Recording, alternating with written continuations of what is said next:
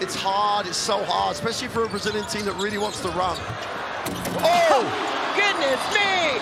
I'm not even sure that pass was intended for Bruno. Going like pick and roll with the three and the four guy and the four and the five guy is something that you know, it won't be it won't be something that uh, Coach Fernandez hasn't seen.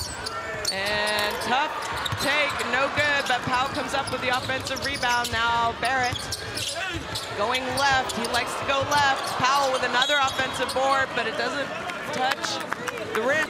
Flores open underneath. They go inside to him. He dribbles it out though. Caboclo. Well. it's late in the clock. It's late in the clock though. We're okay with him doing it late in the Okay. clock. Olynyk thought about it, steps back, Powell's open underneath, takes his time. Oh, he's blocked though. But it takes away the guys that have really been initiating a lot of the pressure. It takes them away from the ball. Well, shot clock is definitely winding down. We have a little step back two-point shot, no good, but who's there for the offensive rebound? Caboclo. This is the most important part of the game. When Brazil go to the rotations, are they going to be able to maintain it? Oh, Caboclo with a huge block. It's a very small lineup. Wow, turnover. And Caboclo just goes both at Alexander Walker and Olynyk. One thing they have to do is they've gone a little bit passive on their defense. Just pick it up full court, but like you've done in other games.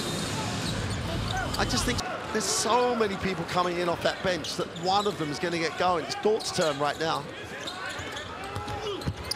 Caboclo just goes right at Powell, and he is unstoppable. Brazil back to slowing it down as Yago gets it back. He finds Caboclo. Oh. oh, what a shot! What a layup, excuse me. Get to the rim and basically draw a foul on Powell. And, and As Santos pulls it out. They want to go inside. They do.